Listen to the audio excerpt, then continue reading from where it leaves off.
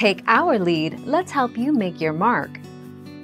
Our goal is your satisfaction. Let us show you the way.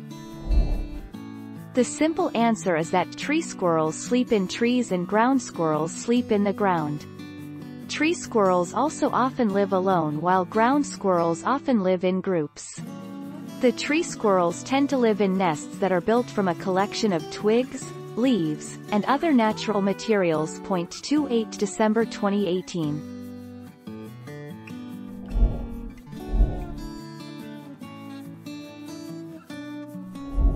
Let's help you make your mark. Squirrels tend to take shelter in a tree or dray when it rains to keep themselves dry, and mostly in a hollow tree when the winds are strong and destructive, to prevent getting thrown out of their nest and potentially injured. Otherwise, any shelter or alternative nest is always an option.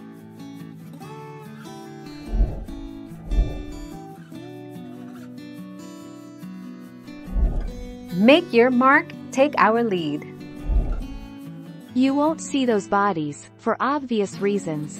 Disease, starvation, and harsh weather are other major causes of death.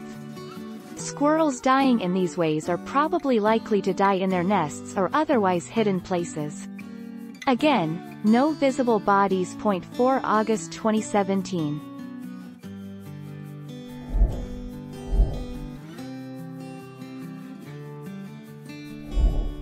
Take our lead.